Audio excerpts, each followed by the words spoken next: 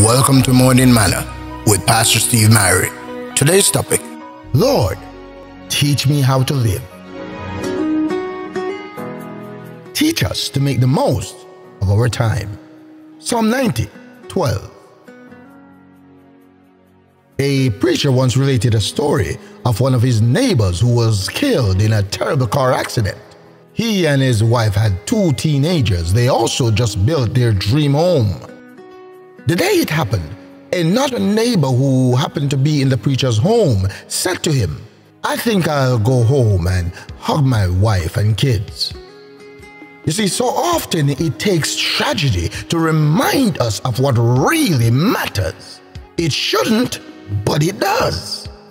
When I hear of such things, I wonder did they live well? If they could come back for a week, what would they do differently?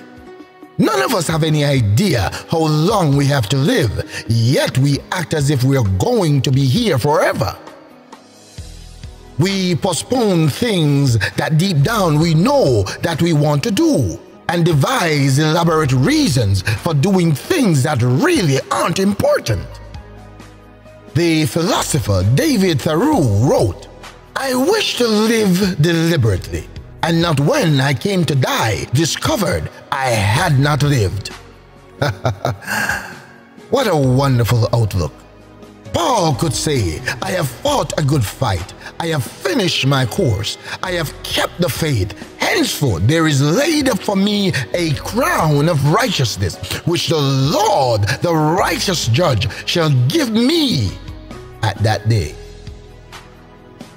The thought for today live each day as if it's your last, for sooner or later, it will be. God bless you today, in Jesus' name.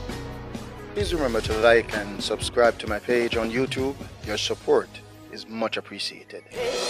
Waymaker, miracle worker, promise keeper, light in the darkness.